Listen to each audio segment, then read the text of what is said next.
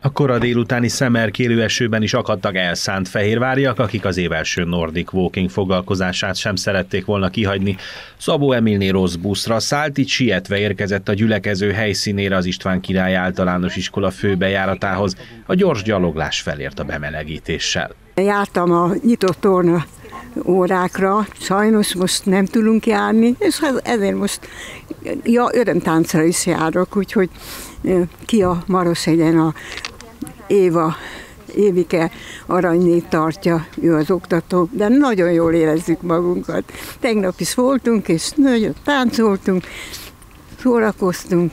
A 88 éves Szabó Emilné szeret mozogni és társaságban lenni. Mindkettő adott a város által biztosított ingyenes Nordic Walking foglalkozásokon. Igaz, a mai alkalommal csak egy kisebb csapat vette nyakába a Palota városi tavak környékét. A szabadtéren való mozgás az sok olyan dolgot helyettesít vagy kivált, ami a jelenlegi helyzet miatt, a járvány miatt nem lehetséges tornatermi elfoglaltságuk, fel az időskorúaknak, a szépkorúaknak a tornateremben végzett tornájuk az nem lehetséges, és emiatt is javasoljuk, hogy ezt a mozgásformát válasszák. Ameddig a időjárás engedi, addig itt vagyunk, és ameddig a Covid megköveteli, addig jövünk is. A Nordic Walking során a karok is erőt fejtenek ki, így ideálisabb a test és a szervezet terhelése. Idén Monspart Sarolta a nemzet sportolója és Vauven Antal Nordic Walking tréner emlékére szerveznek sportos sétákat Fehérváron.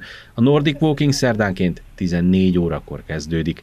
A gyalogló túrákra pedig hétfőnként, február 28-áig 16 órára, március 1-től 17 órára várják az érdeklődőket az Öreghegyi Közösségi Ház főbejáratához.